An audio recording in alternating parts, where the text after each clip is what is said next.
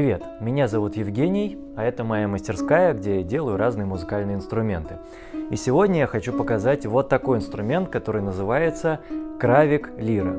Это скандинавская щипковая лира, оригинал которой датируется 16 веком.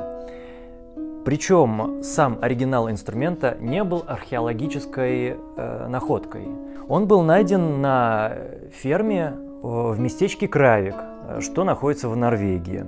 Она висела у фермера на стенке, и э, в 19 веке ее обнаружили, задокументировали, сделали чертеж инструмента. И теперь мы, мастера, можем делать, а музыканты могут на этом инструменте играть.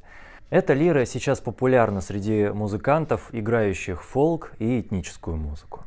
Здесь стоит 11 струн, а в оригинале было всего 7 струн. Инструмент сделан из клена, в то время как оригинал был сделан из сосны.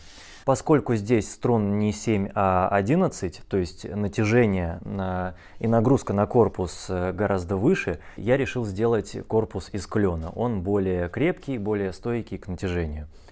Еще у оригинала есть э, резьбовой орнамент по всему грифу. Здесь я его не делал, но в принципе можно сделать, почему бы и нет. Струны я сюда поставил нейлоновые. Строй от ноты соль до ноты до. То есть получается э, полторы октавы.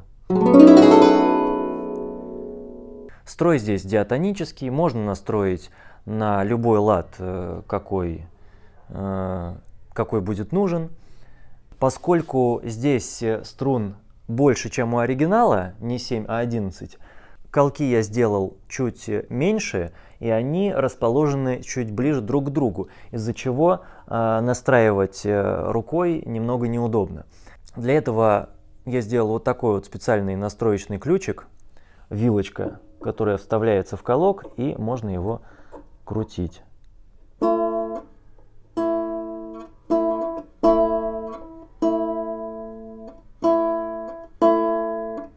Еще потребуется некоторое время и несколько инструментов, чтобы научиться на этой штуке играть. Тем не менее, что-то я могу показать. А, правая рука солирующая, а, левая в аккомпанементе, то есть она может здесь аккомпанировать.